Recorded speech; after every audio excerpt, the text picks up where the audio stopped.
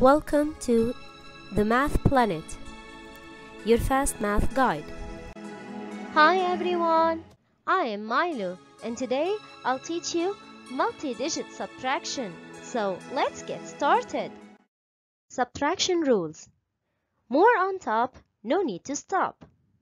More on the floor, go next door and get 10 more. Numbers the same, zeros the game. Solve 357 minus 283. Start subtraction at the ones column. 7 minus 3. Which rule is this? This is rule number 1. More on top, no need to stop. Take away 3 from 7 and the difference is 4. Next we subtract the tens. 5 minus 8. Is there more on top here? No. There is more on the floor, so this is rule number 2. More on the floor, go next door and get 10 more. Cross the 5 tens and cross the 3 hundreds.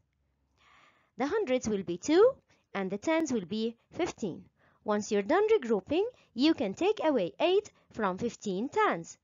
15 minus 8 equals 7. Next, we will subtract the hundreds. 2 minus 2. This is rule number 3.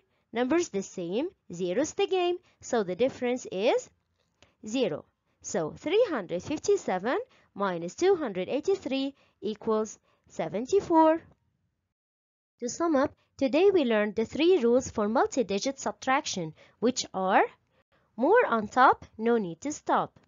More on the floor, go next door and get 10 more. Numbers the same, zeros the game. We're done for today's lesson. Thanks for watching the Math Planet. Don't forget to subscribe for more videos. See you next time.